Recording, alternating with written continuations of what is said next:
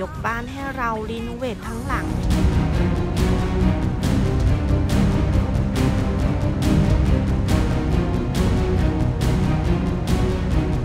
เมาช่ำยำบันเทิงใบเตยอาสยามนักร้องสาวตัวแม่ตัวมัมจ่อรีโนเวทบ้านใหม่ทั้งหลัง เปลี่ยนเฟอร์นิเจอร์ใหม่ยกชุด เลยเจอชาวเน็ตถามรัวๆ ได้ใช้เงินคืนคดี Forex ทีดีหมดหรือยังคะ ต้องบอกแบบนี้ค่ะว่าตั้งแต่ที่ลูกทุ่งสาวสั้นเสมอหูใบเตยอาสยามออกมาจากเรือนจำนักร้องสาวก็ทำงานรัวๆเลยค่ะทั้งเดินสายร้องเพลงและรับงานรีวิวสินค้า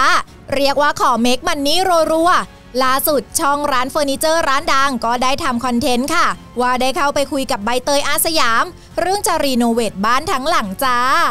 คือในคลิปเนี่ยทางร้านบอกว่าวันนี้บุกบ้านใบเตยอาสยาม วันนี้ใบเตยยกบ้านให้รีโนเวททั้งหลัง อยากจะเปลี่ยนเฟอร์นิเจอร์ใหม่ ไม่ว่าจะเป็นโซฟาดูดวิญญาณ ให้มีสีสวยเข้ากับผ้าม่านของบ้าน มาวัดพื้นที่ให้ใบเตยถึงบ้าน เปลี่ยนโต๊ะอาหารเป็นโต๊ะอาหารหินแท้ จัดให้แบบสวยๆหรูๆสมฐานะตัวแม่วงการลูกทุ่ง ต้องบอกว่าพอลงคลิปนี้ไปกระแสกลับมาถล่มใบเตยอีกรอบค่ะ เช่นบอกว่าเอาเงินมาจากไหนครับ ไหนว่าไม่มีตังค์จะเปลี่ยนทำไม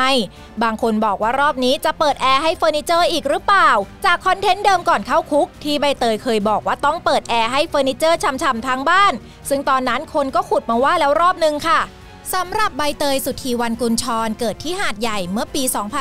2531 ปัจจุบันเธออายุ 36 ปีค่ะ เธอเข้าสู่วงการเพลง โดยเริ่มจากบิดามารดาทำธุรกิจส่วนตัวเกี่ยวกับวงดนตรีลูกทุ่ง และได้รับส่งเสริมให้ร้องเพลง เริ่มเข้าประกวดร้องเพลงตั้งแต่อายุ 7 ขวบ จนกระทั่งพศ 2547 ใบเตยคว้ารางวัลนักร้องดีเด่นระดับประเทศ จากนั้นได้มาเป็นศิลปินฝึกหัดของค่าย RS ในเดือนเมษายน พศ 2552 ใบเตยสุธีวันได้เซ็นสัญญากับค่าย RS ในสังกัด RS และออกอัลบั้มเดี่ยวทั้งหมด 2 อัลบั้ม เพลงดังคือเช็คเรตติ้งค่ะ ชีวิตส่วนตัวของใบเตย สมรสกับพัฒนพลกุลชร หรือดีเจแมน มีบุตรสาวมีชื่อว่าเด็กหญิงดั่งต้องมนตรากุลชร ชื่อเล่นน้องเวทมนต์ในช่วงปี 2565 ชื่อของใบเตยและสามีมีส่วนเกี่ยวข้องกับคดี Forex TD โดยทั้งสองคนปฏิเสธทุกข้อกล่าวหา แต่สุดท้ายทั้งสองคนก็โดนอายการสั่งฟ้อง และถูกนำตัวไปฝากขังที่ทันทสถานหญิงกลาง ส่วนดีเจแมนถูกนำตัวไปยังเรือนจำพิเศษกรุงเทพ ทางด้านใบเตยได้ยื่นขอประกันตัวหลายครั้ง จนช่วงปลายปีที่แล้วศาลได้ให้ประกันตัวมีเงื่อนไขติดกำไร EM ห้ามออกนอกประเทศ รายงานตัวตามที่ศาลนัดทุก 30 วัน เรียกว่าเธอได้รับอิสรภาพหลังอยู่ในเรือนจำยาวนานถึง 191 วัน และต่อมาในเดือนมีนาคม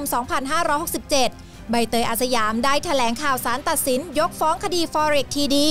ซึ่งต้องบอกว่าคดีนี้มี 2 ส่วน คือคดีที่ผู้เสียหายฟ้องร้องผ่าน DSI กับคดีที่ผู้เสียหายให้ทนายฟ้องตรงกับศาลซึ่งคดีที่ยกฟ้องไปเป็นคดีที่ฟ้องตรงกับศาลค่ะ